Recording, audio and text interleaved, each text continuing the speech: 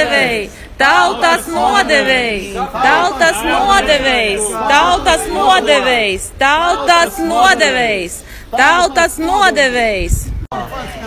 Tautas nodevēji!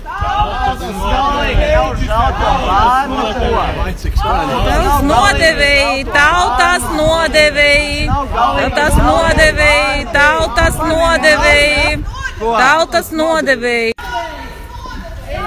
Tautas nodevējs, tautas nodevējs, tautas nodevējs, tautas nodevējs, tautas nodevējs, tautas nodevējs, nāk tautas nodevējs, tautas nodevēji, tautas nodevēji.